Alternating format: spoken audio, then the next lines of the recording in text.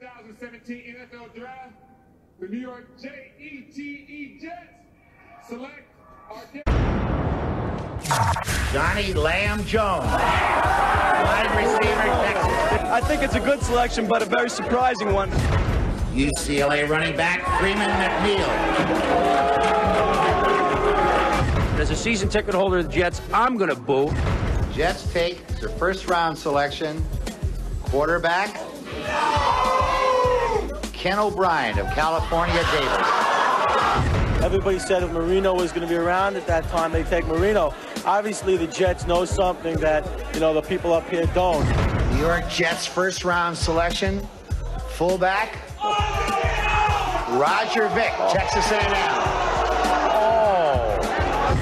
New York Jets first round choice, Jeff Lageman, linebacker, Virginia. It's obvious to me right now that the Jets just don't understand what the draft's all about. The New York Jets select Blair Thomas, running back, Penn State.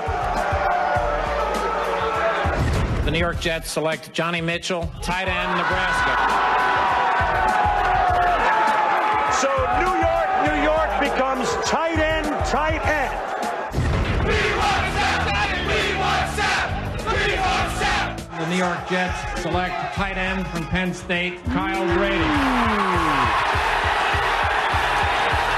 Ladies and gentlemen, our first real upset, I think, at this point in the draft. select Vernon Gholston, defensive end, Ohio State. Well, years ago, we talked to Tom Moore, then at Indianapolis, the offensive coordinator. You got a busted play here, and then, Oh, no. and then Sanchez gets hit. The ball is loose, and it's alive. I have never seen this before in my life. Watch this. Vince Wilfork is going to throw. Bra- The New York Jets select Dee Milner. D.